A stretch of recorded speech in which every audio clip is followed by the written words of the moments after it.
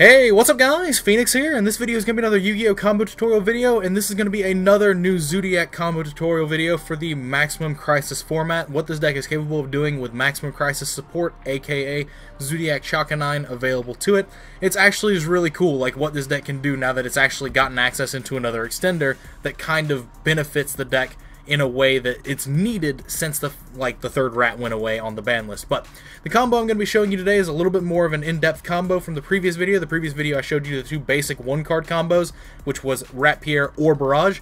Now this combo I'm going to be showing you is Zoodiac Barrage plus any level 4 monster in the game. It can be Rat, it can be anything, because if it's Rat, you obviously normal summon Rat and use Barrage to be the level 4. But if it's any level 4 monster in the game that can be normal summoned, you can combine that with Barrage, and this will give you a board that is Drident, Emerald, plus 4 draws. So it's a uh, it's a really nice uh, it's a really nice extender on the combo because previously the only way to draw three or more cards off a fusion sub with Rat at two was to open like Rat Instant Fusion, and that was a draw five. But anyway, the way this goes is you're going to activate your barrage, and you're going to use your barrage targeting itself to destroy itself, and you're going to special summon your Ratpier from deck. Now from here, it's going to look very similar. Most of these Zoo combos do look very similar in certain points in their uh, play sequencing. They all sort of match up, but then also differentiate themselves in certain specific points. But so you're going to Boarbow into your Ratpier, and then you're going to Broadbull on top of your Boarbow and then you're going to detach off the Broadbull to add your Lunalight Black Sheep to hand alongside your level 4 monster, and then you're going to discard the Black Sheep for your fuse for your uh, for your fusion substitute, your first fusion sub. I kind of lost my train of thought there for some reason, don't quite know why. But anyway, on top of the Broadbull, you're going to put your Chakanine, so this should look very similar to the uh, beginning combo, the, the previous combo that I showed if you watched that. But so you're going to detach Broadbull, and you're going to bring back either Broadbull or Boarbow, whatever Xyz monster you want to bring back. But then you're going to Fusion Sub, and you're going to Fusion Summon uh, the uh, Norden using Chakanine and the Broadbull. So Norden comes out, and then Norden is going to bring back the Rat. Uh, so you have two rats and the Norden on the board. So this should look pretty familiar as far as a as far as a board presence. Now, with any level 4 monster in the game that can be normal summoned, you're going to normal summon that card. And then you're going to overlay in a very specific order. This is the way you get the most out of this combo string. Now what you're going to do is you're going to leave your Norden and your Ratpier on board, but you're going to overlay the two other monsters, the Ratpier plus the other monster, into Daigusto Emeral number 1. And then you're going to detach Ratpier, and you're going to use Ratpier and Boarbow, or not Boarbow, Broad Bull and Lunalight Black Sheep as your things to shuffle back off of your Emerald. So you're going to shuffle back Rat, Sheep, and Broadbull. So you're going to shuffle those cards back, and you're going to draw a random card. Now from here, you got a rat left in your deck that you just put back. So you're going to overlay these two cards, the Norden and the Ratpier into the exact same Broadbull you put back. Now, you could be playing two Broadbull if you're playing a more zoo, like pure zoo-oriented deck, but in the odd chance that you're only playing one Broadbull in your deck, this combo is completely possible with one Broadbull, depending on how you sequence it, like I just showed. But then off this Broadbull, you're going to attach both materials, the Norden and the Rat. So you're going to summon your Ratpier from deck and then add your Lunalight Black Sheep back to hand again, which you are then going to discard to add Fusion Substitute to hand. So you've gotten access into a second fusion substitute. Now from here, you've got fusion substitute and Norden engraved, so you're going to banish the first fusion sub to put Norden back into your extra deck, and then you're going to draw another random card. And now from here, the combo sequence is the exact same as the previous one card combo. It's linked back up again to where it needs to be. You will then just get rid of the Emerald and the Broadbull with the Fusion Substitute into Elder Entity Norden, and then basically off this Norden you're going to bring back whatever is the best, most applicable thing to bring back. In this case, it's very likely Whiptail, uh, because you could put Whiptail under your Drident, and it'll be a very proactive card. If it was something like Ramram, Thoroughblade, something with attack points you could give to the Drident, that's something you probably want to end up with. But then you will just overlay your Norden and your Ratpier into Daigusto Emeral number 2, you will detach the Norden specifically, and you're going to shuffle back the Emerald. This is kind of mandatory.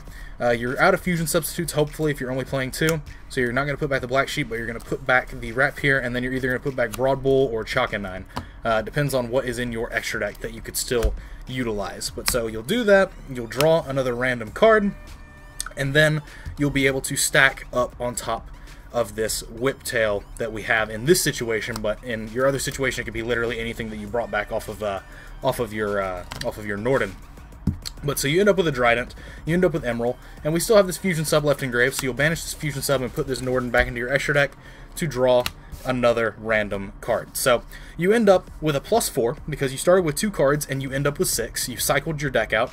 Uh, you end up with a Drident with hopefully a relevant material under it, depending on what monsters you had access to when you started the play. And then you end up with an Emerald that uh, you could use next turn if it survives, and you have four other cards in hand alongside the other three, so you have seven cards in hand. Uh, but like depending on what these cards are, they could be extenders, they could be hand traps, they could be traps, they could be a lot of different things. Uh, but essentially, you end up with a very, very good position as far as card economy and card advantage. Like all these fusion substitute combos are actually just insane in terms of what they yield you, uh, as far as as far as how the Zoo engine progresses the game state, as far as with your your economy, your card economy. But Anyway, that is it for this combo video. I'm not going to do another video, another combo in this video just because we're getting into more of the lengthy combos.